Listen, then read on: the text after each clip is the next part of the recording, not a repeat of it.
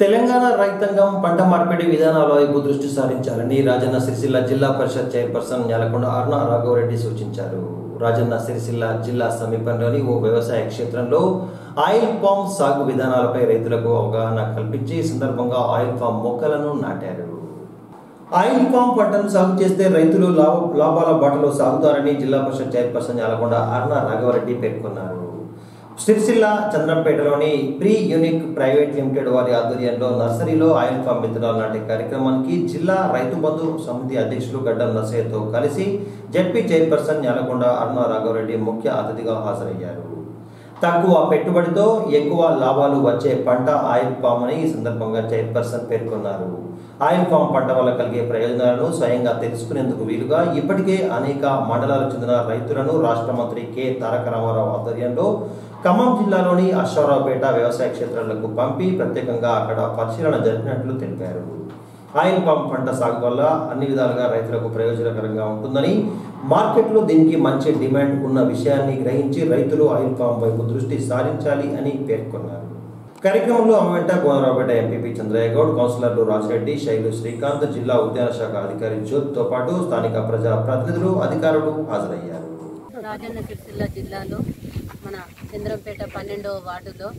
ఇక్కడ oil form విత్తన కార్యక్రమము కంపెనీ వాళ్ళు ఇక్కడ సీడ్స్ తీసుకొచ్చి ఇక్కడ ఇవాళ విత్తనాలు నాటడానికి నాతో పాటు ఈ కార్యక్రమానికి రైతు బంధు సమితి జిల్లా అధ్యక్షుడు గడ్డం నర్సయ్య గారు అలాగే హార్టికల్చరు జ్యోతి గారు అలాగే వార్డు కౌన్సిలర్ రాజిరెడ్డి గారు వాళ్ళతోటి ఇక్కడికి వచ్చిన రైతాంగానికి మన అందరికీ కూడా ఇక్కడ ఉన్న సిబ్బందికి కూడా వాళ్ళకు కూడా హృదయపూర్వక నమస్కారాలు తెలియజేస్తూ ఈరోజు ఏదైతే ఉందో సాధించుకున్న తెలంగాణలో అనేక మార్పులు అనేక విధాలుగా మార్పులు వచ్చి ఇవాళ మనం మూడున్నర సంవత్సరాలలో కాళేశ్వరం తీసుకొచ్చి నీళ్ళు తీసుకొచ్చి పుష్కలంగా ఇవాళ రైతాంగానికి ఇచ్చి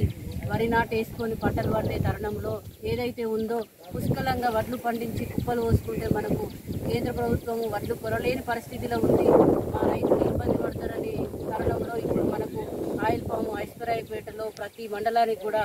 మనకు సర్వీసులు పెట్టి కూడా అక్కడ ఆ, రైతాంగానికి అవగాహన కల్పించి ఎందుకంటే పంట మార్పిడి చేసుకున్నట్టయితే మన మన రైతులు రాజుగా ఎదుగుతారు కాబట్టి ఒక వడ్ల వడ్లకే మొగ్గు చూపకుండా ప్రతి దానికి కూడా ప్రత్యామ్నాయ పంటల వైపు వెళ్ళినట్టయితే రైతు రాజుగా ఎదుగుతాడనే ఉద్దేశం కొద్దీ మన రైతులు ఎలాంటి ఇబ్బంది పడద్దని వాళ్ళ తోలుకపోయి చూయించి ఇక్కడ అన్ని కార్యక్రమాలు చేసుకొని ఇక్కడ కూడా మన మన జిల్లాలనే మన జిల్లానే స్ఫూర్తిగా తీసుకొని మొన్న నిన్ననే మనం అది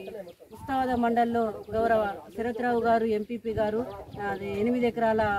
చేనులో మన వాళ్ళ ఆయిల్ ఫామ్ మొక్కలు నాటడం జరిగింది. కలెక్టర్ గారు మేము కూడా వెళ్ళి ఆ కార్యక్రమంలో పాల్గొనడం జరిగింది.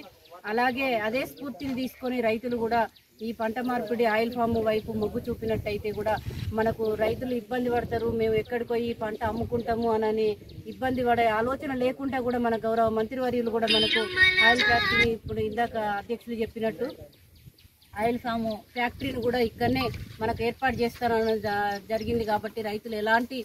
ఆందోళనకు గురి కాకుండా ఎలాంటి ఇబ్బందులకు గురి కాకుండా మనం ఆయిల్ ఫామ్ వైపు మొగ్గు చూపి ఇప్పుడు ఈ పంట తీసుకున్నట్టయితే ఇప్పుడు మనం విత్తనాలు నాటినాం. ఆ విత్తనాలు కూడా సంవత్సరానికి మళ్ళీ వచ్చే సంవత్సరం వరకు మనకు మొక్కలుగా ఎదిగి రైతుకు ఇచ్చే మార్గంలో ఉంటుంది కాబట్టి వాటిని తీసుకొని కూడా మనకు సబ్సిడీ కూడా డ్రిప్ ఇరిగేషన్